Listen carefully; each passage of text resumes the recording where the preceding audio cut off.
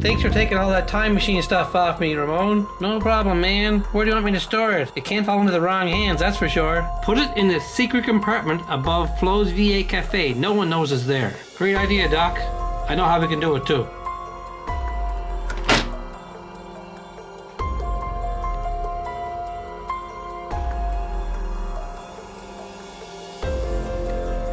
Thank you. Thank you very much. That's great information. It appears our old friend Lightning McQueen has access to a time machine. We must have that machine. We must have that system.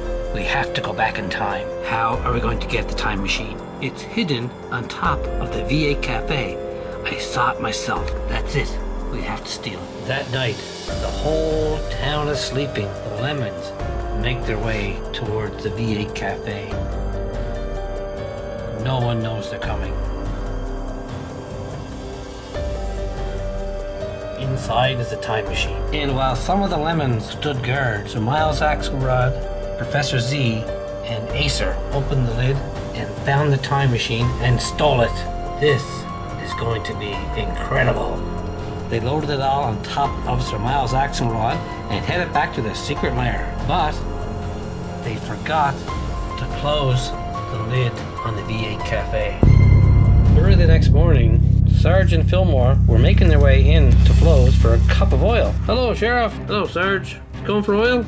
Yes, we are, said Sarge. Come on and join us. So they all headed towards the V8 cafe. They stopped by and took Lightning and Sally with them. Can't wait for the first cup of oil. But wait, why is the roof open on the V8 cafe? Flo, what's going on? Were you up there last night? What? What, me? I slept like a log. Why, what's wrong?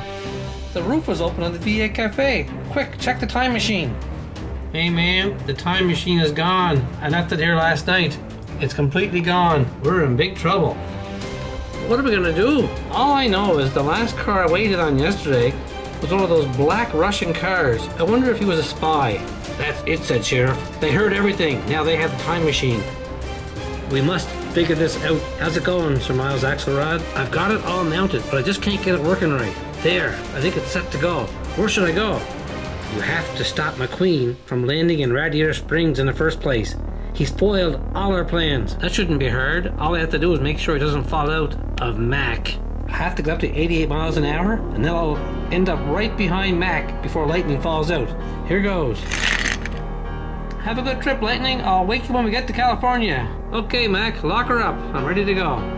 And just when Mack was ready to pull out, go to California, Miles Axlerod approaches and puts a locking bar on the back so the door cannot open.